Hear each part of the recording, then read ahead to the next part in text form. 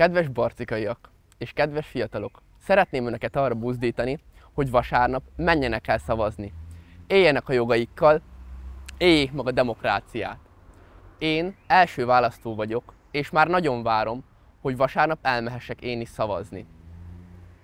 Válasszanak, azért válasszanak, hogy Barcika fejlődhessen tovább.